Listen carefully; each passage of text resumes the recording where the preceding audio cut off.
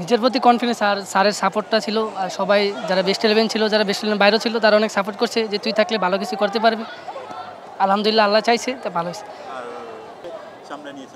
প্রেশারটা কারণ আর্লি ছয়টা উইকেট আমাদের চলে গেছে ওই চিন্তায় দেখা যাচ্ছে মাঠে গিয়ে আমার মানে সলিড ব্যাটিংটা করতে হবে ভালো ব্যাটিং করতে হবে দলকে সামনে নিয়ে দিয়ে এদিকে যাইতে হবে।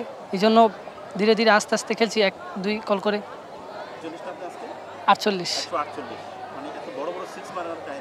এটা আল্লাহ দিছে।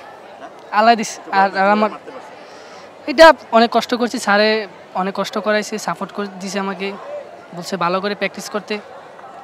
এটা আল্লাহ দিছে হয়ে গেছে। আচ্ছা মোস্তাফিজ। হ্যাঁ? Mustafiz. Yeah lefty fast bowler lefty fast bowler sir.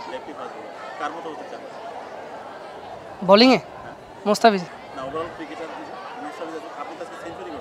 Over আমার ফেভারিট ব্যাটিং হলো বিরাট কোহলি।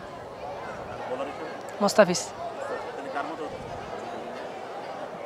বোলিং বোলিংয়ে তো মুস্তাফিজ মনে হতেছে, আর ব্যাটিংয়ে বিরাট কোহলি